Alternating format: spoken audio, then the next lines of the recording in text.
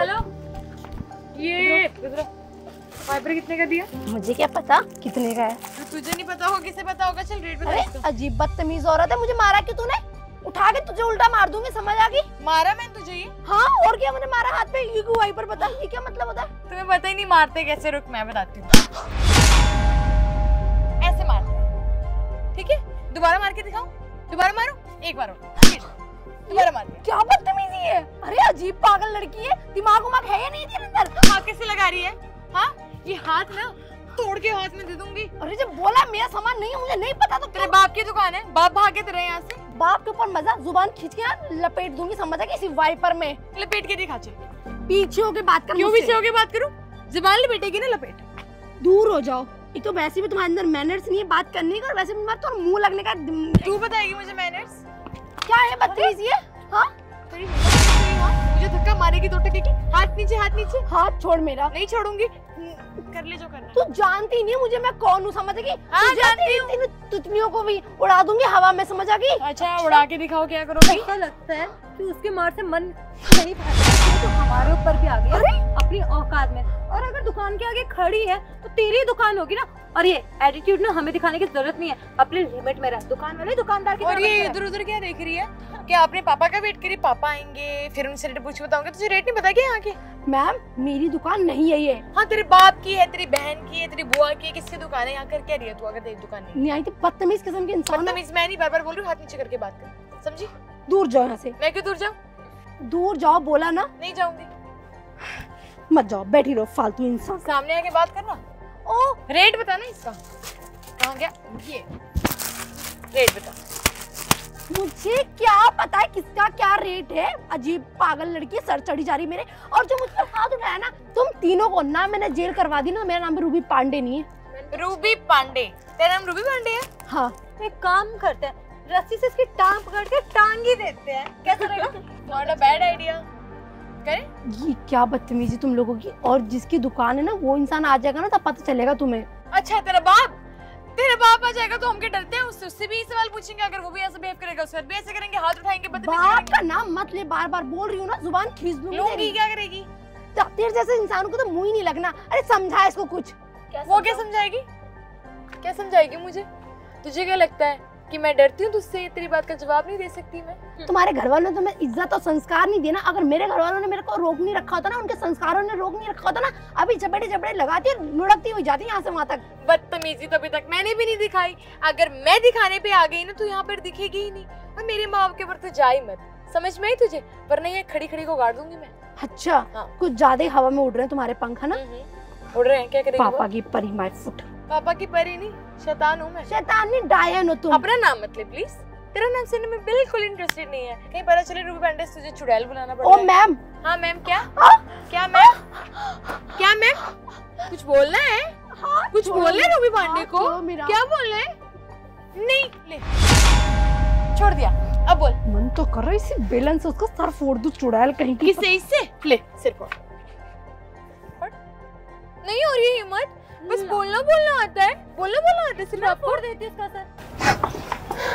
पागल है क्या? बेलन गंदा करेगी क्या? सिर्फ़ फोड़ना है तो नीचे मारना सर। पानी गिर के साफ़ हो जाएगा। खाम का बेलन भी किसी काम का नहीं रहेगा। नहीं नहीं। अगर फोड़ दिया ना तो बेकार में मरम्मत हमें ही करवानी पड़ेगी। यहाँ वहाँ क्या देख रही बाप अभी तक नहीं आया। बापू का इंतज़ार कर रही है। मैंने बोला तमीज में रहो वरना पुलिस के ऐसे चार डंडे लगवाऊँगी ना ज़िंदगी भर ना पिछवाड़े से निशान नहीं हटेंगे। हाँ तेरा यार पुलिस वाला है। तमीज में बात कर। तमीज? बार बार मत बोल बोल दिया हाथ नीचे इज़्ज़त से बात कर समझ गई? इज़्ज़त से। बात कर। माय फुट तुम जैसे कि ना मैं इज़्ज़त नहीं करती। हम्म, समझ? आई तुम किसी की नहीं कर सकती। अपने माँ बाप के साथ भी ऐसी बात करती होगी ना अगर उन्होंने भी तुम्हें कुछ बोल दिया कि बेटा मुझे तो नहीं पता नमक कैसे तेज हो गया कहता मम्मी तुमने बोला कैसे? ले धैड़ ले धैड़ लगा देती होंगी बार बार बोलना पड़ेगा। एक बार बार बार बोलू? तमीज में बात कर ठीक है? और मेरे माँ बाप ने ना बहुत अच्छे संस्कार दिए हुए हैं। अगर ना दिए होते ना यहाँ किससे बात कर रही हूँ? अगर संस्कार ना दिए होते ना तो अभी तक तेरा मैं क्या हाल करती ना वो तो मुझे भी नहीं पता। फ़ोन कहाँ है मेरा? क्या अपने यार को फ़ोन करेगी? बेबी मैं यहाँ पर खड़ी हूँ आ जाओ। लो ये नहीं कम मैं कर देती हूँ। हम्म? तुझे क्या लगा? कि हम यहाँ तेरी हेल्प करेंगे। तूने ही बात को बढ़ाया। छोटा सा चीज़ पूछा था तेरे कि वाइपर कितने का है? लेकिन जब मुझे नहीं नहीं पता मैं बोल रही हूँ चिल्ला चिल्ला के मेरी दुकान नहीं है मेरी दुकान नहीं तो भी सर मान ली बात। बाप कब आएगा तेरा? कब आएगा?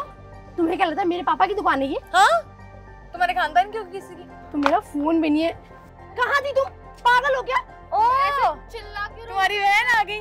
हाय बहन जी। नमस्ते नमस्ते। अरे मैम साहब जी क्या हुआ? इतने भड़क क्यों रही हो? मुझे क्या भड़क रही हो? तुम्हें पता है तीन तीनों लड़कियों ने मेरे साथ क्या करा है? इतना सारा अत्याचार करा है मारा है मुझे। क्या? ये दिख रहा है गाल लाल कर दिया इन्होंने मेरा। रब्बा।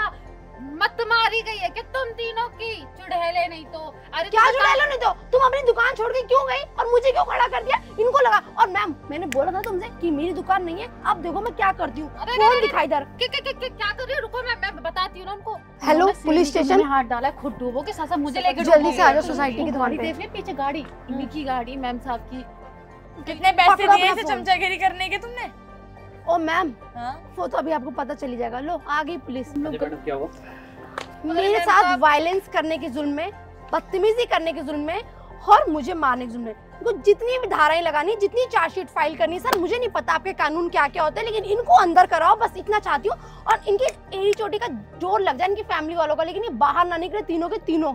अरे मैम साहब मैंने कुछ नहीं किया मैम साहब तुम चुप मुझे- रहो। क्या मैडम क्या बदतमीजी कर रही थी मैडम तो सर वो मुझे लगा कि ये इनकी दुकान ये ये तो- क्या? आपको ये कहाँ से दुकान वाली लग रही है? होलिये से इसका होलिया तो देखो कौन इसको देख के नहीं बोलेगा कि ये काम वाली दुकान वाली है? अरे मैडम होली से तो आप भी मेरे को झाड़ू पोछा करने वाली लग रही हो। आपकी आँखों में ना मोतिया बिंद है इसलिए आपको सही पुलिस वाले से ऐसी बात कर रही है। अच्छा पुलिस वाले मेरे से ऐसे बात कर अरे तुम तीनों ने तमाशा बनाया इस दुकान के आगे मेरा। बेटा तू जानती नहीं है मैं कितने बड़े बिजनेसमैन की वाइफ हूँ। मैं तुझे तो मैं ऐसा मज़ा सिखाऊँगी ना पूरी ज़िंदगी तेरी वही निकल जाएगी जेल में। माफ़ी माफ़ी माफ़ी मैं फुट मैं कभी ना माफ़ करूँ इनको। मेरी बहन को फ़ोन करना एक। अरे किस किस को बुलाओगे आप? हेलो खुशी? जल्दी आओ कहाँ रहेगी तुम? ठीक है आओ। मेरी बहन आ रही है। और बताती हूँ। दुकान नहीं है ये। ज़्यादा बोल मत। तेरी वजह से सारा तमाशा हुआ है। अरे मैडम जी ना ही आप आती ना ही आपको बैठा के जाती ना ही मेरे घर में फ़ोन आता घर से। चले वो पार्लर वाली बहुत अच्छी है, आप भी ज़रूर तुम कौन हो मैडम जी? मेरी बहन है तमीज से बात करते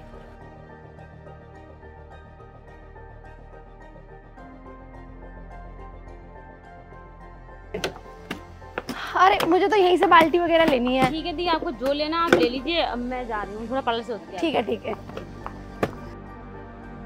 अरे ये मगवक कितने का? एक सेकंड। हेलो? हाँ? अरे मैम क्या? हाय रब्बा कैसे? ठीक है ठीक मैं आ रही हूँ आ रही हूँ आ रही मैम आप मेरा थोड़ा दुकान संभाल लेना जो पचास के सौ का है वो डेढ़ सौ का है ठीक है? मैं आती हूँ। अरे अजीब पागल है। सर मैं ना थाने जा रही हूँ सीधा गाड़ी लेकर और आप भी इनको लेकर आओ जिप्सी में बैठा के। चल खुशी। आप मैं भी आता हूँ। साथ। अरे निकलो यहाँ से।